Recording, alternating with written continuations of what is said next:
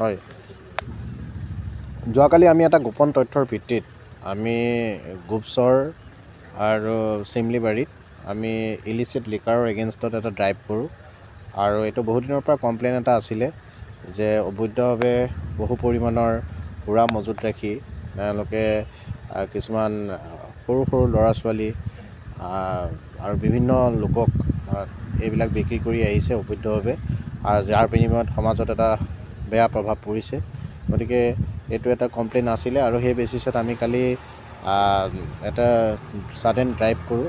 আৰু ড্ৰাইভ কৰাৰ পিছত আমি বাণেশ্বৰ বড়ো আৰু এজন ফণীধৰ বড়ো এই দুজন লোকক আমি কৰায়ত্ব কৰোঁ আৰু তেওঁলোকৰ দোকান আছে। আৰু তেওঁলোকৰ ঘৰ আৰু দোকানৰ পৰা আমি বহু পৰিমাণৰ এৰাউণ্ড থাৰ্টি থাউজেণ্ড ৰুপিছৰ আমি কিছুমান ইলিচিট লিকাৰ আমি ৰিকভাৰী কৰিবলৈ সক্ষম হওঁ।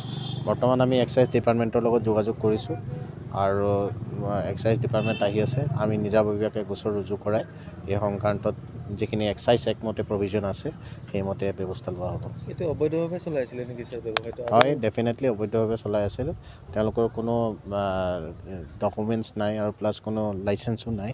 গতিকে এইটো অবৈধভাৱে এটা চলাই থকা এটা বিজনেছ আৰু যাৰ জৰিয়তে চৰকাৰী টেক্সটো তেওঁলোকে আহ, আত্মসাৎ কৰাৰ উপৰিও তেওঁলোকে সমাজতো এটা বিৰূপ প্ৰতিক্ৰিয়া সৃষ্টি কৰিছে। ক'ত ক'ত চলাইছিলে ছাৰ অভিযানটো? এইটো আমি গোপচৰত চলাইছিলোঁ আৰু আহ, চিমলি জাৰত চলাইছিলোঁ।